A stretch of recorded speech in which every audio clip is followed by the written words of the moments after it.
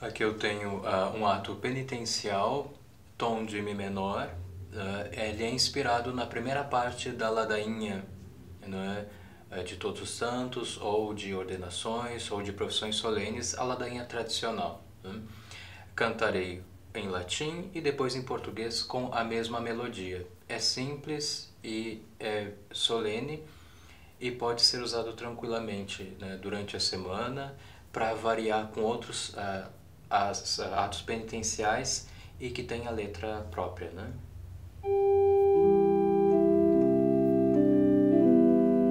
Primeiro em português. Senhor, tem de piedade de nós.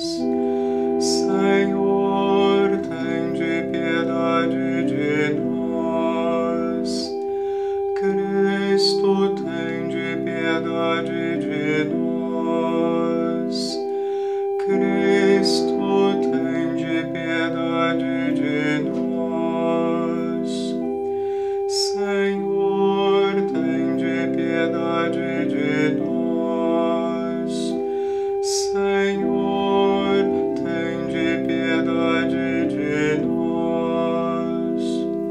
Vejam que a melodia é bem simples e muito mais simples que outras melodias ou repetições que se costumam colocar em ato penitencial e respeita o que propõe o que ensina a liturgia. né?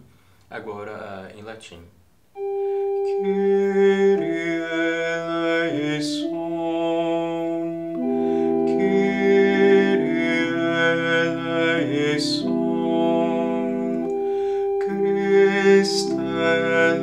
Eleison.